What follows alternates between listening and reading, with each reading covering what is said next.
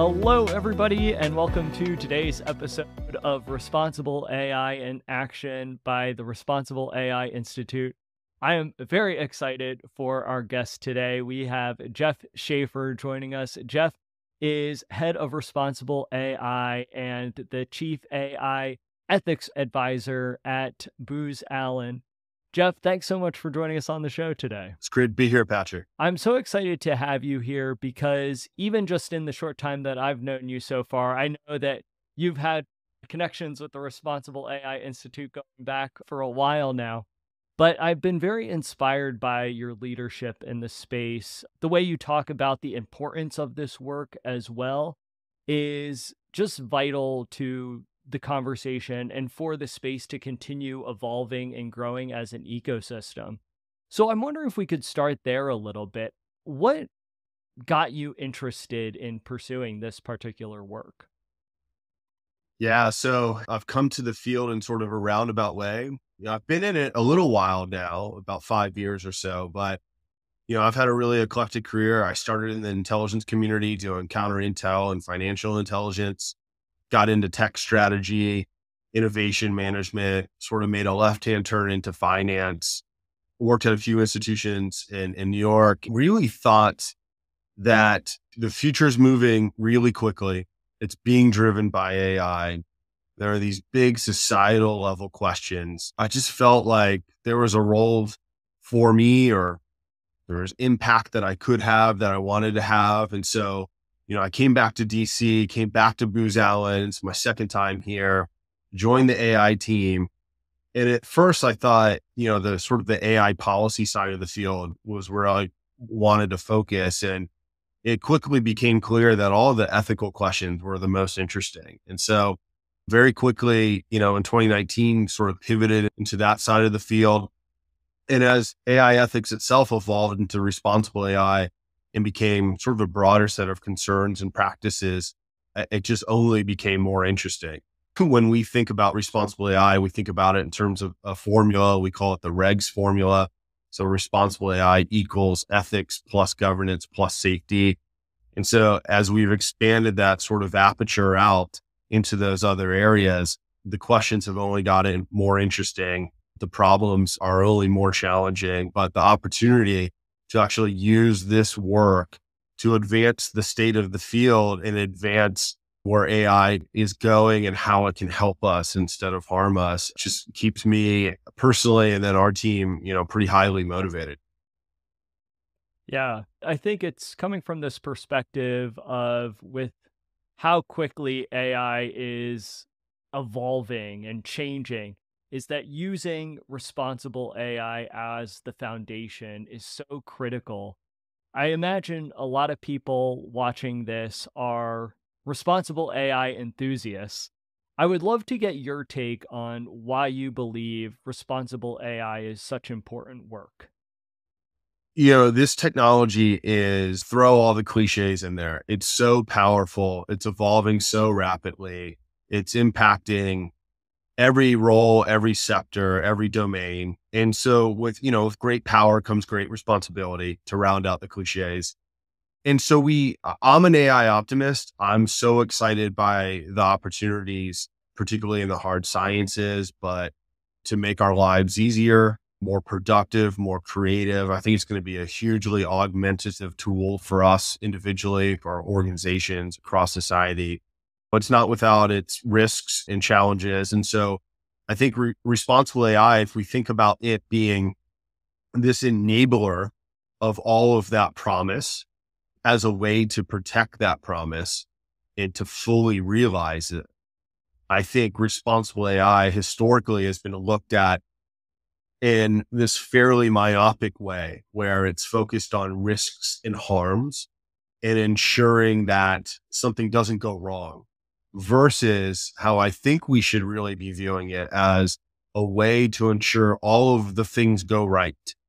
And, you know, I think you said earlier, like really setting the foundation for this powerful technology so that we can really figure out the maximal good it can do across all of all cross sections of society, every industry, every role versus you know, letting it develop in ways where we're not thinking critically about the right controls we need to wrap around it, how we mitigate some of the new risks it poses, et cetera. And then it just crashes out. And, uh, you know, an entire sector may decide we can't use it. Um, or an organization that might otherwise benefit from it. You know, small organization trying to compete with bigger organizations and all the productivity enhancements that that particularly generative AI offers them. You know, if something goes wrong and they decide we can't afford to use this as an organization, that's net bad. And so I think responsible AI allows us to sort of protect the opportunity across all of these these industries and frankly individuals that are trying to experiment with it for their own purposes, you know, personally and professionally.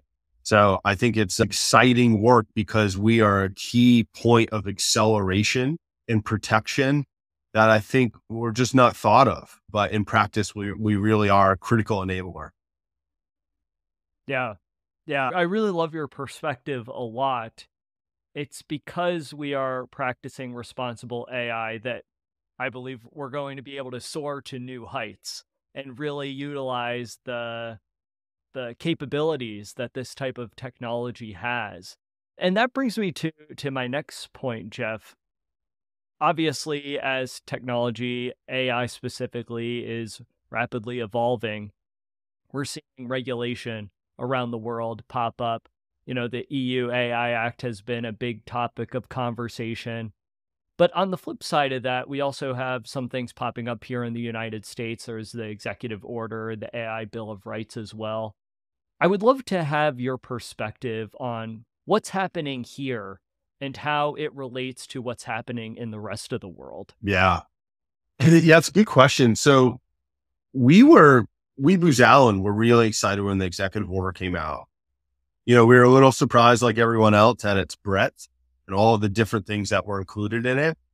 But we thought it was you know, fairly optimistic. And so we think of the executive order as the starting gun for our federal government to go do AI.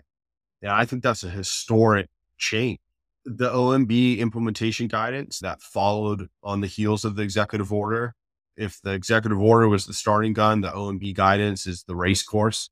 And so we were pleased to see the level of specificity um, in the OMB guidance to help make this real for our, you know, our, our federal clients. And so we're really, yeah, we're really excited by the action in the work that it has already kicked into gear. I mean, we have literally seen a sea change across our client base, you know, post executive order that just came out. Um, I think what we're wow. going to see next domestically is the Congress start to legislate around more specific issues and risks. And I think that's the right posture. I think, you know, there are specific things across industries, across use cases, particularly around deep fakes and and using AI to to drive more malicious behavior like that that I think can easily and should be easily outlawed or made illegal or sanctioned in some capacity. Doesn't mean the enforcement of that will necessarily be easy, but I think that's the right role and right focus for us to be moving towards domestically. I think, you know, if the EU AI Act, it's, it's, we're seeing maybe a similar uh, Brussels effect that we saw post GDPR I think that's a good thing. I think there's just a, this almost chorus of legislative and policy activity that's happening right now across partners and ally countries um, because everyone is, you know, both concerned and sees the promise and wants to protect it, just like we were talking about earlier. So uh, I'll be curious to see what comes after, you know, the ratification of the EU AI Act. That's both like an executive order and, you know, a piece of legislation in the United States. It's this almost this hybrid. So be curious to see what they do next with it. But again, we view all of this as net good. You know, we're trying to wrap our arms around this. We're moving, the government is moving more quickly than it's ever moved in the past. I don't think it gets enough credit for that. From the release of ChatGPT to the executive order, we saw a whole of government response at light speed. And that's amazing. We're going to learn a lot over the next year or two about what works in there, what doesn't work, what additional things that we need to be paying attention to and how.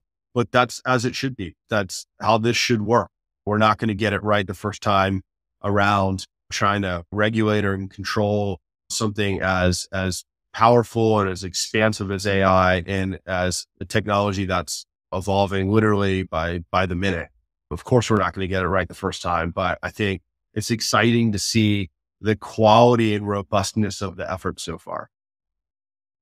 Yeah, that's a really good point, Geoff. The fact that people are at least coming together and having the conversations and actually putting motions into place is a good sign. And I agree with you. I am optimistic and I'm hopeful as well. Geoff, not thank you enough for taking the time to to join us on the show today. And I also just really appreciate your work, your leadership in the responsible AI space as well. Before we sign off, I'm wondering if you could just share with our listeners where can they find out more information about you and all the great work that you're doing? Well, I appreciate that. First and foremost, Patrick, you know, we, to sing your all's praises for a second, we've had a vision for a while now about the companies that we view as critically important to our strategy and the future of our work. You guys were front and center and we're so excited to be, to be a member and to chart our joint future together. So, so this is really exciting. Really appreciate your leadership here. And I think you guys are going to make our future more successful.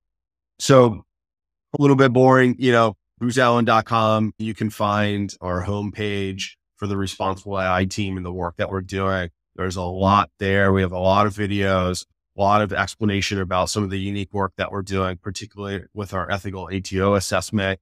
But we have some broader thought leadership there as well.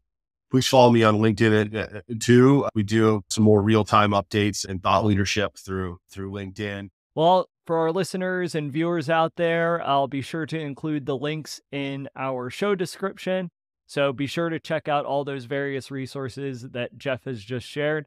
Geoff, thank you so much again. Really appreciate it. Thank you, Patrick.